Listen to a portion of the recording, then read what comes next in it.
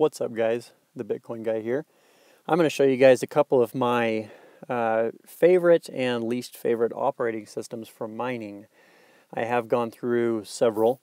Um, I think I'm at four or five right now, but I'm going to show you four of my favorite operating systems specifically for uh, mining different cryptocurrencies with GPU mining, not necessarily ASIC. So here we go. The first one that I tried out that I tried mining with was uh, Windows, of course, Windows 10. Um, this is what a lot of people have on your, on their laptops or sometimes their desktops for mining. I used this for mining with NiceHash. Now, NiceHash, as you may have seen in one of my other videos or in just some of the, the news um, that came out a little bit ago, that NiceHash was hacked. Unfortunately, I don't think NiceHash is going to be back up anytime soon, so that's kind of out of the picture that was really the key player for Windows mining.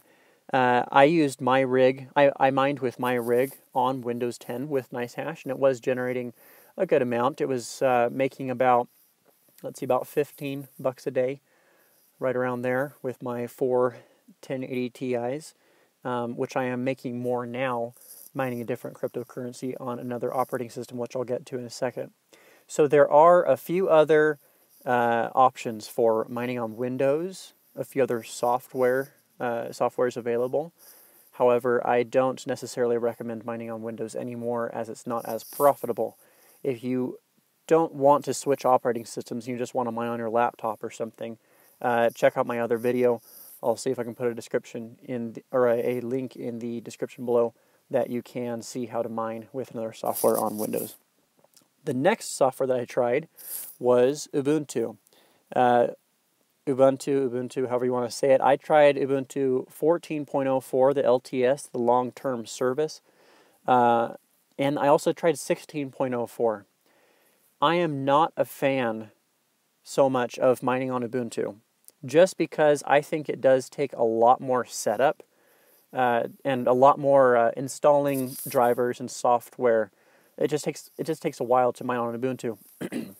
I should have mentioned a second ago. The reason that I decided to switch from uh, Windows to some form of Linux was initially not. It, I actually switched before NiceHash got hacked, uh, just because my Windows machine kept shutting down in the middle of the day. I don't know why. I wonder if it was having problems with the drivers, but I couldn't figure it out. I tried so many different things, um, but I eventually switched over to different versions of Linux. So I don't necessarily recommend Ubuntu. I just I'm letting you know that I tried different kinds of software with it. I tried uh, Claymores specifically. I don't necessarily recommend it. Next up, probably my second favorite software for mining is the Simple Mining OS. This is a pretty great uh, operating system. Excuse me, I'm getting a little sick here. This is a pretty great operating system for mining. Uh, I actually use it on one of my smaller rigs with an AMD card in it, and it mines Ethereum. Uh, you can, of course, set it up however you want, but it is very much plug and play. Unfortunately, you can't really access anything else within the operating system. Uh, as far as I know, you, you can't uh, remote into it, I don't believe. It's all basically you just plug it in, you plug it into your Ethernet connection or whatever, and you you just uh, when you install it, you have to install it with your email address so that it can know so that you can log in on Simple Mining's website uh, into your account, and that way you are able to mine to whatever uh, whatever I guess cryptocurrency you have set up for it to mine. So Simple Mining OS is a very much plug and play. It's very easy to use. They do charge $2 a month. However, I haven't seen that they actually hold you to that. They haven't discontinued any of my rigs, and I think I'm a little bit over right now that I haven't paid for a little bit. But uh, so Simple Mining OS is definitely one of my top two. And my number one suggestion is EthOS. Now, this operating system does not come free. This operating system is, if I remember correctly, 40 bucks uh, for a one-time purchase. They do ask that you pay per rig that you set it up on. However, they don't necessarily hold you to that, and there's no way, as far as I can tell, they can check that. Uh, so as soon as you buy it once, you can, uh, you know, make copies. I guess if if you were to do that, I'm not necessarily endorsing that. um, or suggesting that any of you do that workaround or, or steal it in any way, but uh, you you are supposed to pay for each copy that you use. Now, EthOS does require a little bit of setting up, but it is very stable. My version of EthOS that I'm currently running on my rig right now is mining Zcash on Slushpool. Uh, it's making me, since Zcash is going up in value, it's making me between between 25 and about 35 bucks a day, depending on the day.